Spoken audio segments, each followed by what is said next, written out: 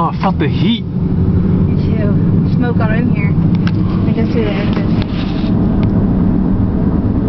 Fucking RV was on fire, man. That sucks ass for them. Oh,